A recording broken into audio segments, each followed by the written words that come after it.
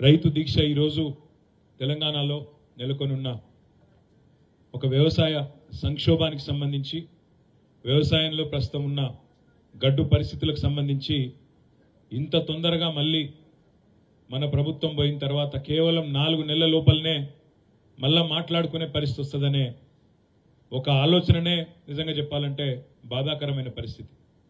మన పార్టీ అధ్యక్షులు పెద్దలు కేసీఆర్ గారు ఈ ఏడు పదుల వయసులో తనకు ఆరోగ్యం బాగాలేకపోయినా బయట ఎర్రటి ఎండలున్నా ఇవాళ ఒక దిక్కు జనగామ జిల్లా సూర్యాపేట జిల్లా నల్లగొండ జిల్లా నిన్న కరీంనగర్ జిల్లా రాజన్న సిరిసిల్ల జిల్లాకు ఈ వయసులో కూడా ఐదు జిల్లాలకు పోయి తాను స్వయంగా రైతులను కలిసి నేనున్న మీకోసం అని ధైర్యం ఇస్తే మరి వారి బాటలో ఇవాళ మనందరం కూడా రాష్ట్రంలోని అన్ని శాసనసభ నియోజకవర్గాల్లో వేల సంఖ్యలో ఎక్కడికక్కడ మన గులాబీ దండు రైతన్నలకు మేము కూడా ఉన్నాం.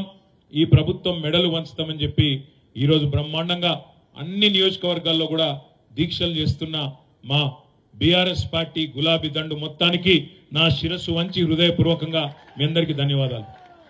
నిన్నగాక మొన్న నేను వికారాబాద్ పోయింటి. వికారాబాద్ పోతే అక్కడ మీటింగ్కి కొద్ది టైం ఉంది. కొద్దిసేపు ఆగుండ్రి అంటే ఒక ఛాయ్ హోటల్ కాడ కూర్చున్నాం. ఛాయ్ హోటల్ కాడ కూర్చుంటే అక్కడ ఒక పెద్ద మనిషి కలిసిండు. లక్ష్మయ్య అని ఒక రైతు. ఉదయాన్నే మాట్లాడుకుంటూ కూర్చున్నాం కొద్దిసేపు. ఇప్పుడు మన రాములన్న మాట్లాడినట్టే ఆయన కూడా అన్ని కుల్లం కుల్లా చెప్పిండు. ఏం లక్ష్మయ్య మొదా ఓటు ఎక్కడేసినావు అన్న? అని అడిగిన నేను. నిజం చెప్పమంటావా అన్నాడు. నిజమే చెప్పు అన్న. ఆడ ఓడిపోయినాం మనం వికారాబాద్లో. నాకు ముందే అనుమానం ఉండే. నేను కాంగ్రెస్కే ఓటేసిన అన్నాడు. మరి ఏమైంది? కాంగ్రెస్ కోటేసినావు కదా. ఏమింది? ఎందుకు వేసినావు అని అడిగిన. ఎందుకు వేసినావు? ఏమున్నది? పదిహేను వేలు ఇస్తా అన్నాడు. కౌలు రైతులకు సాయం చేస్తా అన్నాడు. కేసీఆర్ పదివేలు అంటే నేను పదిహేను వేలు అన్నాడు. నాకు అన్నిటికన్నా బాగా నచ్చింది ఏంటంటే రెండు లక్షల రుణం మాఫీ చేస్తా అన్నాడు. తెచ్చుకోమన్నాడు. ఇవన్నీ నమ్మి ఓటేసిన అన్నాడు. మా ఇంట్లో ముసలిదానికి కూడా నాలుగు వేలు ఇస్తా అన్నాడు. ఇవన్నీ ఇన్నాక నిజమేనేమో అనుకోని మీకు రెండు సార్లు ఇచ్చిన కదా ఓటు. వికారాబాద్ రెండు సార్లు మీకే ఇచ్చినా.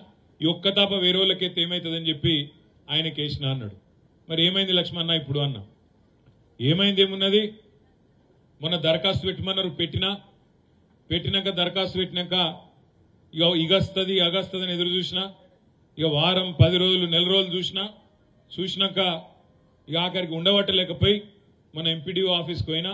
ఎంపీడీఓ ఆఫీస్కి పోయి ఏమైనా దరఖాస్తు అని లొల్లి అన్నాడు. మరి ఏమైంది అన్న? ఆ ఎంపీడీఓ గారు నాకు ఏం చెప్పిందంటే ఇగో లక్ష్మయ్య గారు మీరు రేవంత్ రెడ్డి గారు పదివేలు కాదు పదిహేను వేలు ఇస్తానని చెప్పి మీరు ఓటేసిన అన్నారు. మీకు రెండు లక్షల రుణమాఫీ అని ఓటేసిన అన్నారు. ఐదు వందల బోనస్ అనుకొని ఓటేసిన అన్నారు. ఇక అవన్నీ అయ్యే వరకు టైం పడుతుంది కానీ ఇప్పుడు నీకోసం రేవంత్ రెడ్డి గారు బయట ఒక బ్రహ్మాండమైన బర్రెను ఆడ బయట ఆఫీసులు ఉన్నది నీకోసమే పంపించిండు తీసుకపోవని చెప్పిండు అన్నాడు. నేను సంతోషంగా సరే రుణమాఫీ కాకపోతే ఏంది? మంచిగా నాకు పదిహేను వేలు రాకపోతే ఏంది? బోనస్ రాకపోతే ఏంది?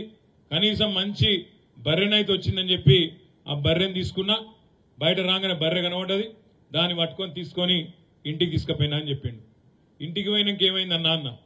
ఇంటికి పోయినాక ఇక సాయంత్రం పోయినా నా భార్యకు చెప్పినా ఇగో బ్రహ్మాండమైన బర్రె మన కోసం రేవంత్ రెడ్డి పంపిండు బయట కట్టేసిన నువ్వు పోయి పాలు విండిపో బాగా పాలిస్తుందట అని చెప్పి మంచి బకెట్ మంచి బకెట్ బందోబస్తు బకెట్ ఇచ్చినా పాలు విండిపోమని పంపించిన అన్నాడు. మరి ఏమైంది తర్వాత అన్న? నా భార్య పోయింది మంచి బకెట్ తీసుకొని పోయింది ఖుషి ఖుషిగా పోయింది. లోపలికి ఒక్కటే నిమిషంలో వచ్చింది వచ్చి ఆ బకెట్ తీసుకొని నా నెత్తి మీద కొట్టింది అన్నాడు. ఎందుకు కొట్టింది అన్న? ఎక్కడన్నా ప్రపంచంలో దున్నపోత పాలిస్తాదిరా దున్నపోత నన్ను తిట్టింది. ఏం చేయాలి నేను అన్నాడు. మరి నేను ఇదంతా ఎందుకు చెప్తున్నా మీకంటే ఆ లక్ష్మయ్య గారు ఆఖరికి ఏం చెప్పిండంటే మరి ఏమనిపిస్తుంది ఇవాళ అన్న? ఏమనిపించేది ఏమున్నది? పాలిచ్చే బర్రెని ఇంటికి పంపించినాం.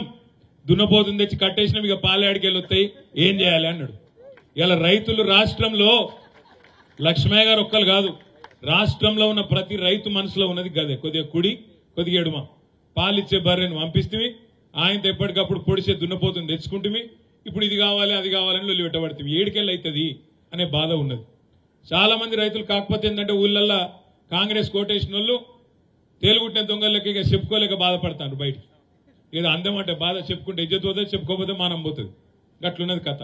ఏం చేయాలి పాపం? ఆశ పడ్డరు ఓటేషన్ ఓటేసినాక ఇవాళ రేవంత్ రెడ్డి గారు ఉత్తమ్ కుమార్ రెడ్డి గారు సావు కబురు చల్లగా చెప్తాను. ఓ ఎలక్షన్ కోడ్ వచ్చింది పాలన మా చేతుల్లో లేదు ఏం చేయాలి అంటుండు. ఎవడన్నా ముఖ్యమంత్రి పాలన నా చేతుల్లో లేదని చెప్తాడా? ప్రపంచం లెక్కనన్న ఎలక్షన్లు వస్తాయి పోతాయి. ముఖ్యమంత్రి నువ్వే ప్రభుత్వం నీదే. ఒక ప్రభుత్వాధినేత పాలన నా చేతుల్లో లేదు ఎలక్షన్ కమిషన్ చేతులు ఉందని చెప్తారా ఎవడన్నా? అయినా మాకు తెలియకడుగుతారు రేవంత్ రెడ్డి గారు నీకు నిజంగా చిత్తశుద్ధి ఉంటే నీ ప్రభుత్వానికి చిత్తశుద్ధి ఉంటే మేము డిమాండ్ చేస్తున్నాం. నిన్ననే మా పార్టీ అధ్యక్షులు తెలంగాణ తొలి ముఖ్యమంత్రి కేసీఆర్ గారు డిమాండ్ చేసిండ్రు. మేము కూడా ఇవాళ ప్రతి నియోజకవర్గం నుంచి చేస్తున్నాం. నీ ప్రభుత్వానికి చిత్తశుద్ధి ఉంటే రైతులకు స్పష్టంగా చెప్పు. ఐదు వందల బోనస్ విషయం అడిగితే అది బోగస్ ముచ్చటనా నిజమా అని ఇవాళ మేము అడిగితే ఎలక్షన్ కోడ్ వచ్చింది అని చెప్పి ఇవాళ కుంటిసాకులు చెప్తున్నావు. ఎలక్షన్ కోడ్ రాకముందే మేము అడిగినాం. నీకు చిత్తశుద్ధి ఉంటే జీవోది అన్నాం. కానీ నువ్వు తప్పించుకునే ప్రయత్నం చేసినావు. ఇవాళ ఇప్పటికైనా నీకు చిత్తశుద్ధి ఉంటే రేవంత్ రెడ్డి గారు మీరు వెంటనే ఎన్నికల కమిషన్కు ఉత్తరం రాయండి. మేము మీలే కాపం. మీరు ఆనాడు అసెంబ్లీ ఎన్నికలప్పుడు మేము రైతు బంధు ఇస్తుంటే మీరు ఉత్తరం రాసి ఆపిర్రు అయ్యో ఇప్పుడేస్తే కేసీఆర్ కోట్లు పడతాయి. ఇప్పుడు ఏనియదు రైతు బంధు అని చెప్పి నీ పార్టీ ఆ రోజు ఎన్నికల కమిషన్కి చెప్పి రైతు బంధును అడ్డుకున్నది. మేము నీలాగా తిర్రి పనులు చేయం మీలాగా పిచ్చి పనులు చేయం నువ్వు రైతులకు ఇయ్యాలా? నిజంగా నీకు చిత్తశుద్ధి ఉంటే నీ ప్రభుత్వానికి. ఎన్నికల కమిషన్ ఉత్తరం రాయ్. ఏమని రాయ్? మేము ఐదు వందల బోనస్ ఇయ్యదలుచుకున్నాం. తెలంగాణలో ఇప్పటికే పంట నష్టం జరిగింది. కొన్ని దగ్గర రాళ్ళ వానలు పడ్డాయి.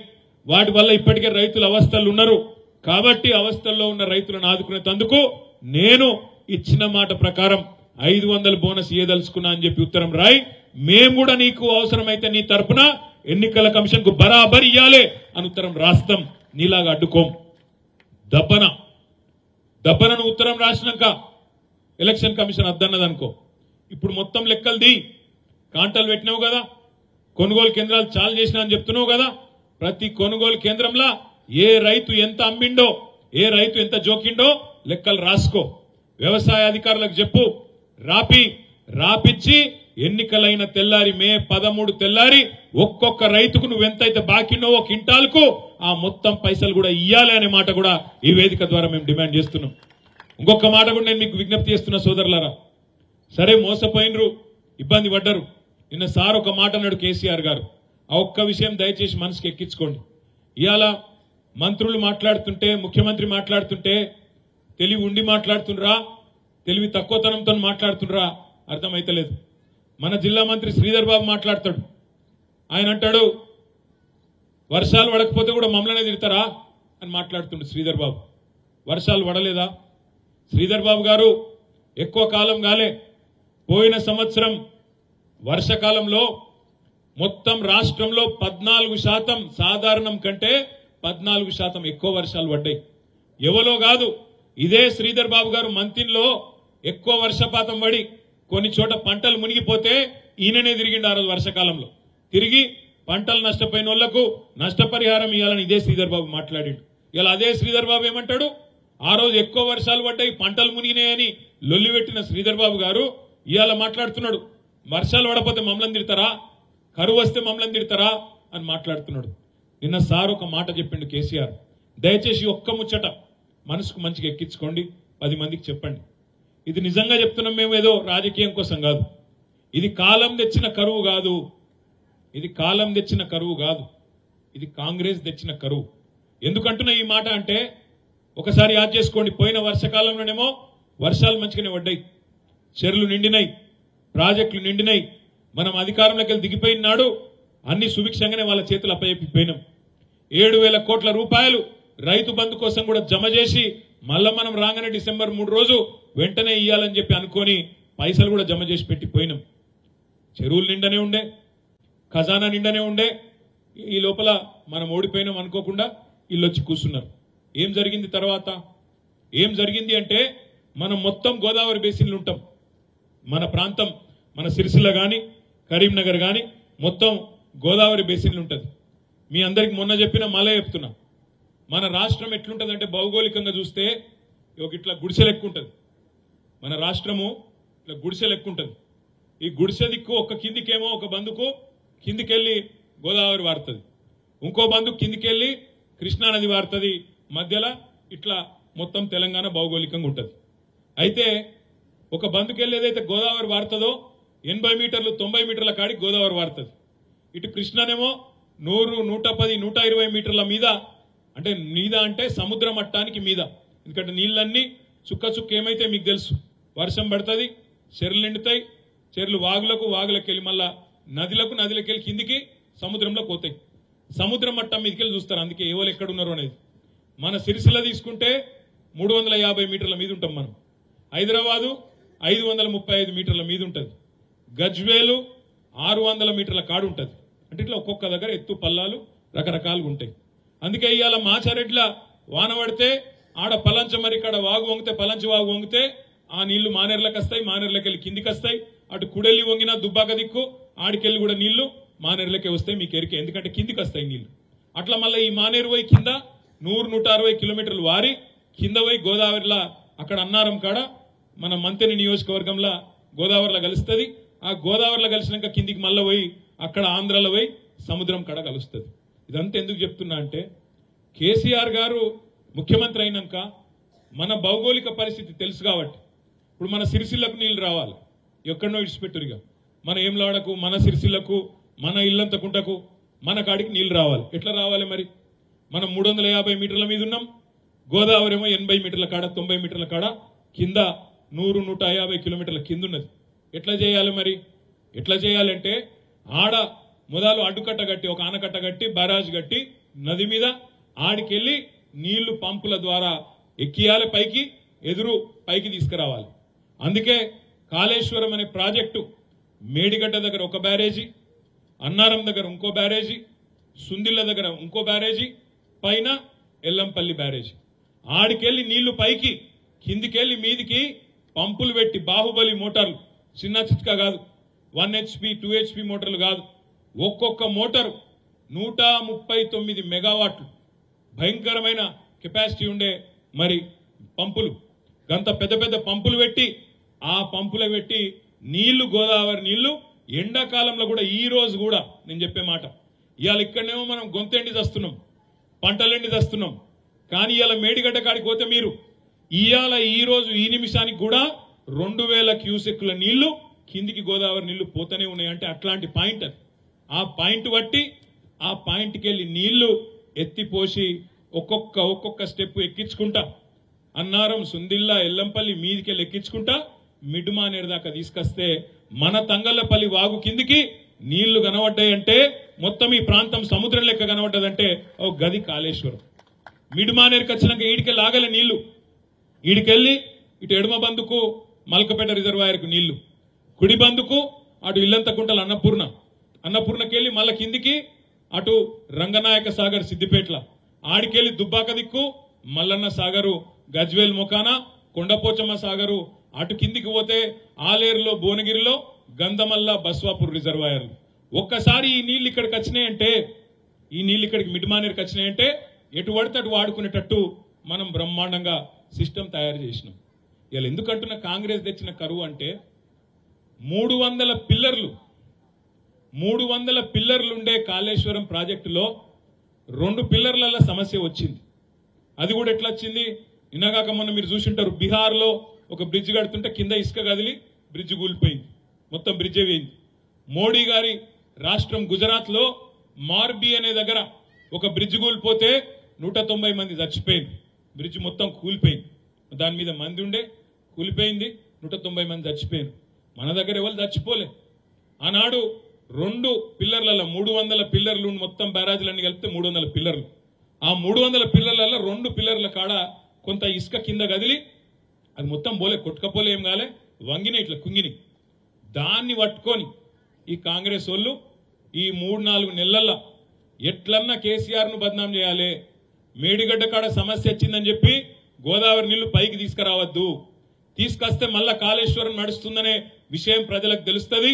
కేసీఆర్కు పేరు వస్తుంది కేసీఆర్ను తిట్టాలి బదనాం చేయాలి పంటలు ఎండాలి పంటలు ఎండితే రైతులు కూడా కడుపు మండి కేసీఆర్ నే తిట్టాలి మళ్ళా పంటలు ఎండితే మనం కూడా కొనే అవసరం లేదు బోనస్ ఇచ్చే అవసరం లేదు రైతులు చచ్చినా మాకు పర్వాలేదు కానీ రాజకీయమే ముఖ్యమని చెప్పి ఇవాళ కాంగ్రెస్ ఓడు కక్షగట్టి కక్షగట్టి కాళేశ్వరం కొట్టుకపోయింది కొట్టుకపోయింది అని చెప్పి దిక్కుమాలిన ప్రచారం చేశారు.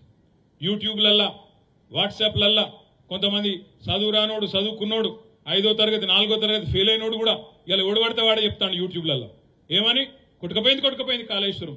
కేసీఆర్ మొత్తం తినేసిండు లక్ష కోట్లు దొబ్బిండు అని ఓ ఇక్కడ వీడోర్రా కుక్కోలే అక్కడ వాడోర్రా యూట్యూబ్లో.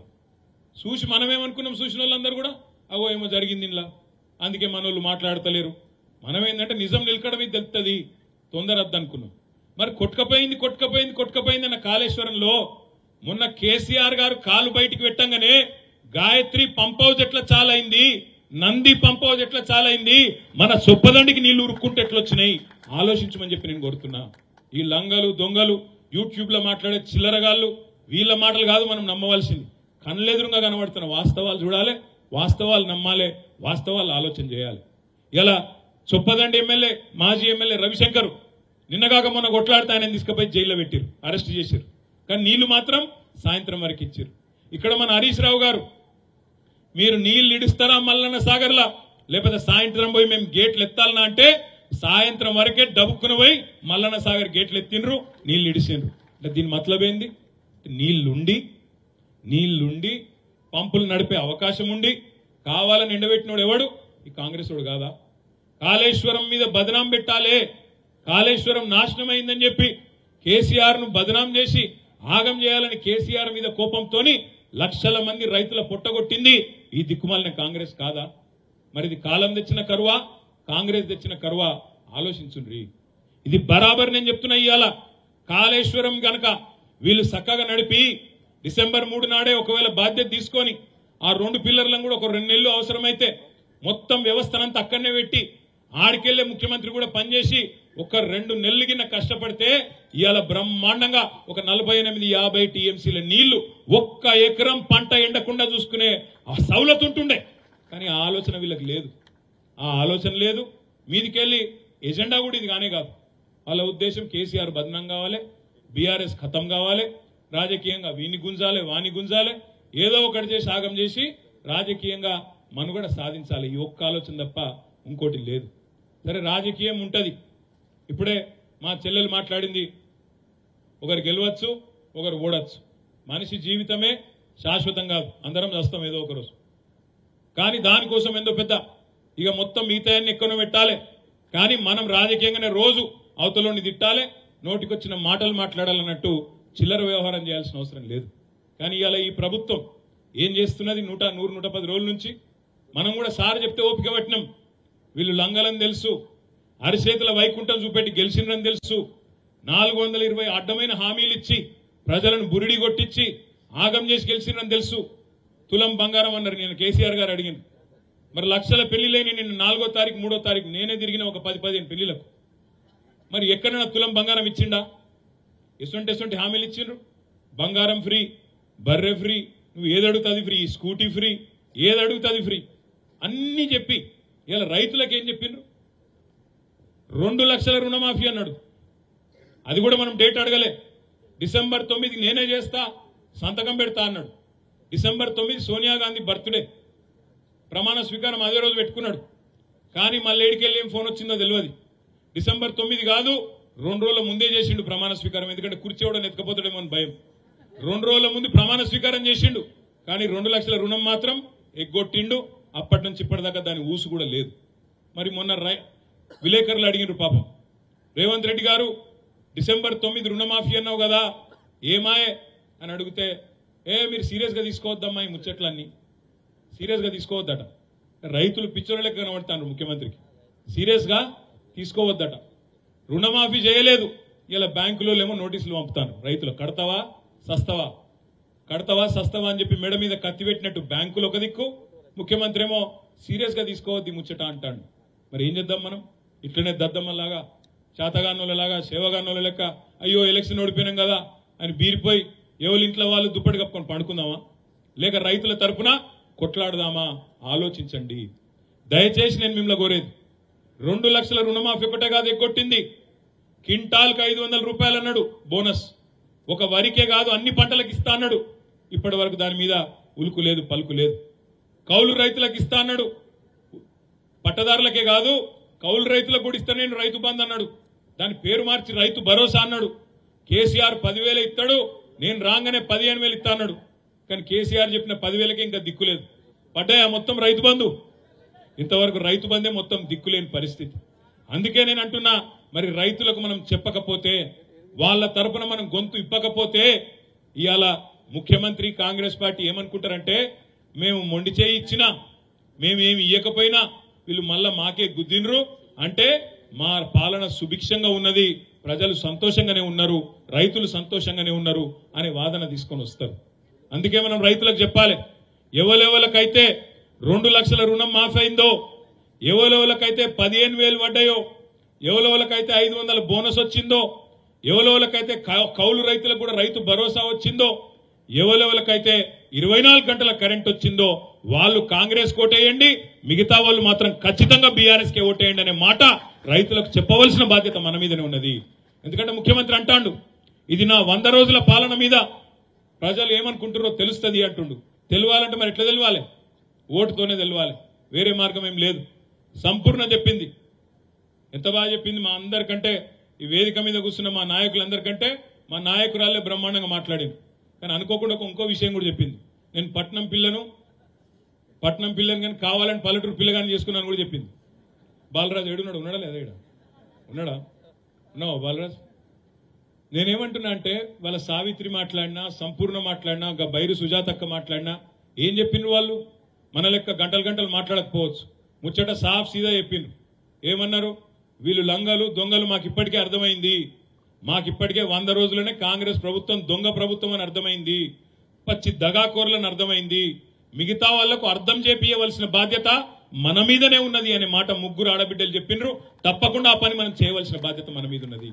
ఈ ఎలక్షన్లలో కూడా మనం మేల్కోకపోతే ఈ ఎలక్షన్లలో మనం మరలబడకపోతే మా అగిరాములు చెప్పినట్టు మనకు మనకేమైనా పంచాయతీలు ఉంటే మళ్ళా చూసుకుందాం.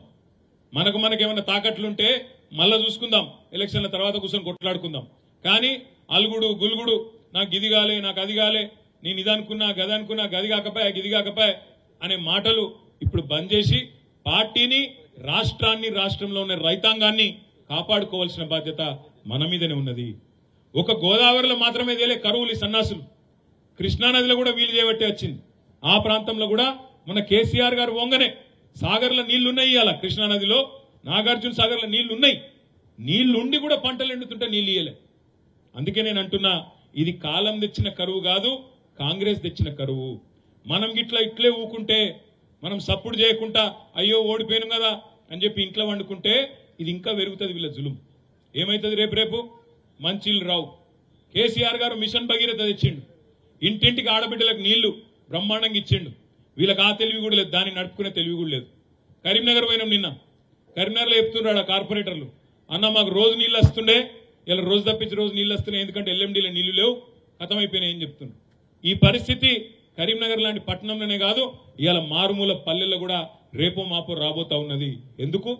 కేవలం వీళ్ళు నీళ్ళు ఉండి కూడా పైకి ఇచ్చే తెలివి లేక మొత్తం ఇంతకుముందు అన్న ఎవరు చెప్పారు నాకు యాదికి లేదు.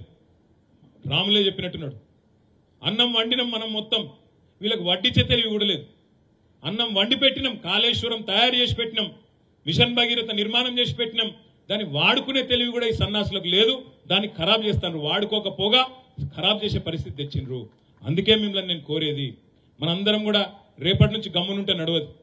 రేపటి నుంచి మనం కూడా బయలుదేరుదాం.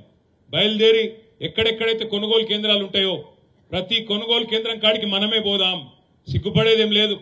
గులాబీ కండువా కప్పుకొనే పోదాం. బరాబర్ పోదాం. గులాబీ కండువా కప్పుకొనే ప్రధాన ప్రతిపక్షంగా పోదాం. రైతుల దగ్గరికి పోదాం అక్కడ ఉండే అధికారుల దగ్గర పోదాం. ఏమైంది నీ ఐదు వందల క్వింటాల్ ఐదు వందల రూపాయల బోనస్? అది బోగస్ ముచ్చట్నా నిజం ముచ్చట్నా? చెప్పు అని చెప్పి ఏ కొనుగోలు కేంద్రం కాడ అక్కడ రైతులను కూడగట్టుకొని వాళ్ళ తరపున ప్రభుత్వాన్ని అడుగుదాం. అయ్యే ఎలక్షన్ కోడ్ ఎట్లిస్తారా అంటాడు ఎవడో ఒకడు. చెప్పాలి. ఎలక్షన్ కోడ్ అయితే లెక్క రాసుకో. మా అవునూరులు ఎంత జోకిండ్రు? నామాపూర్లు ఎంత జోకిండ్రు? గూడెంలు ఎంత జోకిండ్రు? ఒగులాపురంలు ఎంత జోకిండ్రు? బద్దెనపల్లిలు ఎంత? జోకిండ్రు మొత్తం రాయి లెక్క. ఏ రైతుకు ఎంత బాకీ ఉన్నాడో రేవంత్ రెడ్డి? చెప్పి ఇక్కడ ఫ్లెక్సీ కట్టిపో లేకపోతే ఊకోమని చెప్పి నిలదీయవలసిన బాధ్యత కూడా మనకే ఉన్నది. మనం అడగలే వాళ్ళని ఇవన్నీ. వాళ్ళే చెప్పిండ్రు చార్ సౌ బీస్ హామీలు మా అక్క చెప్పినట్టు ఇంతకుముందు సావిత్రక్కనో ఎవరో చెప్పిండ్రు ఏమన్నది? ఆగ ఆగవాను ఓకే. ఈ చార్ సౌ బీస్ హామీలు ఏవైతే ఇచ్చిండో ఆ బుక్ తమ్ముడు చూపెడతా ఉన్నాడు. నేను మీ అందరినీ కూడా కోరుతా ఉన్నా. ఒక్కొక్క హామీని ఒక్కొక్క హామీని ప్రజల దగ్గర మళ్ళొక్కసారి యాద్ చేసి ఎండగట్టవలసిన బాధ్యత మన మీదనే ఉన్నది. తప్పకుండా ప్రజలకు మళ్ళొక్కసారి జాగరూకులను చేయవలసిన బాధ్యత కూడా మన మీదనే ఉన్నది. ఇవాళ రైతు దీక్ష కూడా కేసీఆర్ గారు స్వయంగా చెప్పారు. మనం కడుపులు మార్చుకొని దీక్ష చేయాల్సిన అవసరం లేదు సన్నాసి కాంగ్రెస్ కోసం. మంచిగా టిఫిన్ తిని రాండ్రి తర్వాత దీక్ష చేయండి టైంకి భోజనం చేసే పోనీ అని చెప్పి మీ అందరికి కూడా భోజనం ఉంది. కాబట్టి తొందర పడకుండా ఆగమాగం కాకుండా భోజనం చేసే పోదాం అందరం. మీ అందరిని నేను ప్రార్థించేది ఒకటే. ఎన్నికల కోసం ఓట్ల కోసం మాట్లాడడం లేదు. ఇంకా ఐదేళ్ళు కొట్లాడే ఓపిక ఐదేళ్ళు మంచిగా ఎదురు చూసే ఓపిక మళ్ళీ ఎలక్షన్ల దాకా చూసే ఓపిక మనకుంది. ముఖ్యమంత్రి గారు పాపం ఆగమాగం అవుతాడు ఆయన ప్రభుత్వం అనేది మనం కూలగొడతామని చెప్పి కింద మీద కింద మీద పడతాడు పాపం. గొంతు దించుకుంటున్నాడు ఏమంటున్నాడు? నా కొడుకల్లారా ఎవడు కూలగొడతాడు నా ప్రభుత్వాన్ని? జేబుల కత్తెర పెట్టుకొని తిరుగుతున్నా మీ పేగులు పేగులు కట్ చేసి మెడలేసుకుంటా అంటుండు. మానవ బాంబైతా అంటుండు ముఖ్యమంత్రి. ఇంకో మాటలు మాట్లాడుతున్నాడు చూస్తున్నారు మీరు? నాకు తెలియకడితే ఇప్పుడే మా తమ్ముడు ఎల్లం అడిగింది దరువెల్లన్న జేబుల కత్తెర పెట్టుకొని ఎవడు తిరుగుతాడన్నా? పచ్చి జేబు దొంగలు తిరుగుతారు. జేబు దొంగలు లంగలు తిరుగుతారు. జేబుల కత్తెర పెట్టుకొని తిరుగుతారు ఎవడన్నా? కొద్దిగా అడ్యూట్ అయింది ఒక కత్తెర ఏమైతే డేంజర్ కాదు జేబుల? చెప్పాలి రేవంత్ రెడ్డికి? జర జ- భద్రం నాయన అని. జేబుల కత్తెర పెట్టుకొని తిరుగుతాడు. ఎవడన్నా ముఖ్యమంత్రి నాకు తెలియక ఏమన్నా జ్ఞానం ఉందా? గిసొంటి ముఖ్యమంత్రిని అడిగాలి మనకు. మెడల పేగులు వేసుకొని తిరుగుతాడు మెడల పేగులు వేసుకుంటే బోటి కొట్టేటోను అని ముఖ్యమంత్రి వాను. మెడల పేగులు వేసుకొని తిరుగుతా. మానవ బాంబునైతా. గివ్వా ముఖ్యమంత్రి చేయాల్సిన పని. చేయవలసిన పని నువ్వు? ఇచ్చిన మాట నిలబెట్టు. రెండు లక్షల రుణమాఫీ అన్నావు డిసెంబర్ తొమ్మిది అన్నావు సోనియమ్మ జన్మదినం అన్నావు. దమ్ముంటే నిలబెట్టు. ఆయనకు మంచి డైలాగ్ ఒకటి ఉన్నది. రేవంత్ రెడ్డికి మాట్లాడితే ఒక దిక్కేమో ఇందిరమ్మ రాజ్యం అంటాడు. ఇంకో దిక్కేమో సోనియమ్మ కింద పనిచేస్తాడు. ప్రోగ్రాంలకు ప్రియాంక గాంధీని పిలుచుకుంటాడు. మొత్తం లేడీ లీడర్లే ఉన్నారు ఆయనకు. పెద్ద దిక్కంతా ఇందిరమ్మ సోనియమ్మ ప్రియాంకమ్మ. కానీ మాట్లాడితే మాత్రం మొగోనువైతే ఇది చేయి మొగోనువైతే అది చేయి అంటాడు. రేవంత్ రెడ్డి నేను కూడా అడుగుతున్నా. నీ భాషల్ని అడుగుతున్నా. మొగోనివైతే మొగోనివే అయితే రెండు లక్షల రుణమాఫీ చెయ్యి నువ్వు ఇచ్చిన మాట ప్రకారం అనే మాట డిమాండ్ చేస్తున్నా. మొగోనివైతే ఐదు వందల బోనస్ ఇస్తాను కదా ఇచ్చి చూపెట్టు దమ్ముంటే అప్పుడు మొగోడు అని ఒప్పుకుంటాం మొగోనివైతే మా ఆడబిడ్డలకు మాట ఇచ్చినావు నెలకు రెండు వేల ఐదు వందలు ఇస్తా అని చెప్పినావు. మహాలక్ష్మి అన్నావు. కోటి అరవై ఏడు లక్షల మంది ఆడబిడ్డలు ఎదురు చూస్తాను మొగోనివైతే రెండు వేల ఐదు వందల రూపాయలు కోటి అరవై ఏడు లక్షల మంది ఆడబిడ్డలకు ఇచ్చి చూపెట్టు. మొగోనివైతే ముసలోళ్ళు ఎదురు చూస్తున్నారు. ఒక ముసలవకే ఇస్తావా? ముసలయ్య గుడియాలే రెండు వేలు కాదు నాలుగు వేలు ఇస్తా. ఇంట్లో ఒక్కరికి కాదు ఇద్దరికి ఇస్తా అని నరికినావు కదా. ఈ ఎనిమిది ఎనిమిది వేల రూపాయలు ఎక్కడెక్కడైతే ముసలోళ్ళు ఉన్నారో ఇంటింటికి మొగోను అయితే. గీ పని చేయి. ఇవేవి చేయడట. ఏం చేయకుండా ఏం చేస్తుండే ముఖ్యమంత్రి? ఇక్కడ మనం రైతుల కోసం కొట్లాడుతుంటే ఆయననేమో క్రికెట్ మ్యాచ్లు చూస్తాను చూడరు మీరు. కేసీఆర్ డెబ్బై ఏళ్ళ కేసీఆర్ ఏమో ఎండల్లో తిరుగుతాడు. ప్రతిపక్ష పాత్ర పోషిస్తున్నాడు. అసలు పని చేయాల్సిన ముఖ్యమంత్రి ఏమో నీళ్ళు ఇచ్చే ముఖం లేదు పైసలు ఇచ్చే ముఖం లేదు రైతు బంద్ చేసే తెలివి లేదు. ఏ తెలివి లేదు కానీ ఒకటి మాత్రం తెలుసు. తెల్లారులేస్తే బూతు మాట్లాడాలి తెల్లారులేస్తే నోరు వారేసుకోవాలి ఇష్టం వచ్చినట్టు ఒర్రాలి. ఏమన్నా అంటే లంకె బిందెలు ఉన్నాయనుకొని వచ్చిన? ఇక్కడ ఖాళీ కుండలు ఉన్నాయి అయ్యా ముఖ్యమంత్రి గారు లంకె బిందెల కోసం తిరిగేది గడ్డపారలు పట్టుకొని తటపారలు పట్టుకొని నెత్తి మీద బట్టగప్పుకొని దొంగరాత్రి తిరిగేటోళ్ళు దొంగలు. ముఖ్యమంత్రులు మంత్రులు ఆ పనిచేయరు ముఖ్యమంత్రులు చేయాల్సిన పని ఏంటంటే రాష్ట్రానికి ఆదాయం ఎట్లా తేవాలి పెట్టుబడులు ఎట్లా తేవాలి తెచ్చిన వచ్చిన పైసలను ఎట్లా సద్వినియోగం చేయాలి ఉద్యోగాల కల్పన ఎట్లా చేయాలి? ఏ రకంగా ముందుకు పోవాలి? ఆ ఆలోచన చేయాలి. ఇంకా ఘోరం అనిపించేది ఏంటంటే బాధ అనిపించేది ఇది రైతు దీక్ష నాకు ఎరికే కానీ ఒక్క మాట చెప్పాలి మీకు. బాధ అనిపిస్తుంది ఎక్కడ అంటే ఎవడన్నా మంది కూటిన బిడ్డలు మా బిడ్డలు అని చెప్పుకుంటారే? మంది బిడ్డలు మా బిడ్డలు అని చెప్పుకుంటారు. వాడే మొగోడే నాకు అర్థం కాదు. సిగ్గుశరం లేదు. ఏం మాట్లాడతాడు రేవంత్ రెడ్డి? ముప్పై వేల ఉద్యోగాలు వచ్చినాడు ఈ మొగోడు. ఇప్పుడు పిల్లలు పుట్టాలనుకో పెళ్ళి చేసుకోవాలి సంసారం చేయాలి అప్పుడే కదా పిల్లలు పుట్టేది? అంటే ఉద్యోగం ఇవ్వాలనుకో ఉద్యోగాలు ఇచ్చినా అని చెప్తున్నావు. మరి ఉద్యోగం ఇవ్వాలంటే ముందు నోటిఫికేషన్ ఇవ్వాలి తర్వాత పరీక్ష పెట్టాలి. అటెన్కనే కదా నువ్వు కాల్ లెటర్లు కాగితాలు ఇచ్చేది? అవి ఏవి చేయలేదట రేవంత్ రెడ్డి గారు కానీ ఉద్యోగాలు మాత్రం ముప్పై వేలు ఇచ్చిండట. మందికి పుట్టిన బిడ్డలు మా బిడ్డలు అని చెప్పుకునే సిగ్గులేని వాళ్ళు ఆయనేమో కూడా నాకు అర్థం కాక తెలియకడతా ఇట్లాంటి వాళ్ళు ఇవాళ మాట్లాడుతున్నాడు. ముప్పై వేలు ఉద్యోగాలు ఇచ్చిండట. ఎక్కడికెళ్ళి ఇచ్చినావు ముప్పై వేలు ఉద్యోగాలు? నోటిఫికేషన్లు ఇచ్చినావా? నువ్వు వచ్చినాక ఇచ్చిన నోటిఫికేషన్లు ఎన్ని? ఒకటి కూడా లేదు. ఒక గ్రూప్ అనేది ఇచ్చినట్టున్నాడు అది కూడా వెయ్యి ఉద్యోగాలు అనుకుంటా. ముప్పై వేలు ఉద్యోగాలు ఇచ్చిన అని చెప్తాడు. కేసీఆర్ గారు ఇచ్చిన ఉద్యోగాలకు నువ్వు కాగితాలు ఇచ్చుకుంటా ఇలా వచ్చి నేనిచ్చిన నేనిచ్చిన మోసం నడవది రేవంత్ రెడ్డి. రెండు లక్షల రుణమాఫీ అన్నావు. సంవత్సరానికి రెండు లక్షల ఉద్యోగాలు ఇస్తా అన్నావు. ఈ ముప్పై వేలు తీసేసే రెండు లక్షల ఉద్యోగాలు ఇయ్యాలే. లేకపోతే ఊకోము. తెలంగాణ యువత తెలంగాణ విద్యార్థుల తరఫున కూడా మేమే నడుం బిగిస్తాం మేమే కొట్లాడతామనే మాట కూడా నేను విజ్ఞప్తి చేస్తా ఉన్నా. నిన్న కేసీఆర్ గారు ఇంకొక మాట కూడా చెప్పింది ఇక్కడ. సిరిసిల్లలో నేతన్నల ఆత్మహత్యలు జరుగుతున్నాయి. ఇప్పుడు మా సుజాతమ్మ చెప్పింది. ఒక మాట అన్నది ఇంతకుముందు. ఎద్దేడ్చిన యవసము రైతేడ్చిన రాజ్యం బాగుండదని చెప్తారు పెద్దలు. ఆమె ఇంకొక మాట అన్నది. బట్ట నేసేటోడో లేకపోతే ఏం కట్టుకుంటాడు వాడు అన్నది. ఇవాళ ఒక దిక్కు రైతు అవస్థలు ఉన్నాడు ఇంకో దిక్కు నేతన్న కూడా అవస్థలో ఉన్నాడు.